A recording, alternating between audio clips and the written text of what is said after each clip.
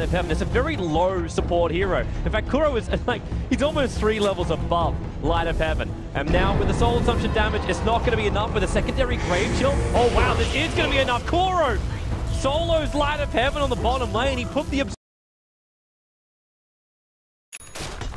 Great time.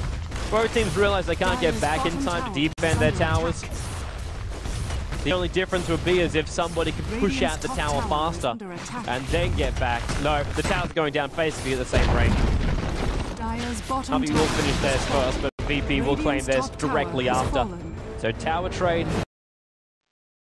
Same time, God doesn't want to die because he's got enough money for his ultimate orb. So he's already looking at that Linken's Sphere. All right, so lol, go, go. Three, two, one, and watch Gold Black pop. In comes Sandy. Boom, boom. Oh, Gold Black. The Cogs line of. They just came up cooldown. That was a quick control. Netted up. And God, he's looking for an extra kill. Knows he can't kill off Darkseer, but he wants Puppey. Time lapse, the Shukuchi damage. Double kill for God. Sentry Ward still down. Avors comes back. Shukuchi, one second. Needs it for the movement speed. Still got the Aegis. Triple kill for God. Fighting the edge of it. God as well as Meg gets him enough time to time lapse. Divorce almost locked him down enough to get a kill. There's Darkseer that's down and Resolution that's wanting to kill off a Vost. There's no Infest. There's your ensnare. Clockwork ulti. He got himself blocked up on the birds. He got himself locked to the tree line.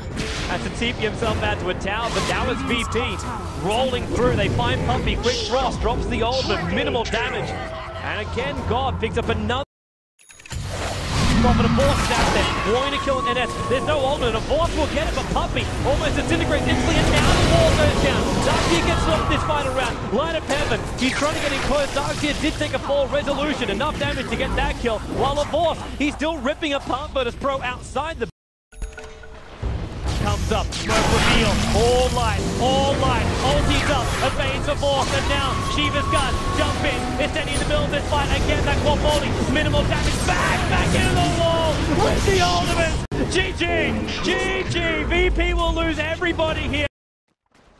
Here, on your, on your live stream from the Join Dota studio.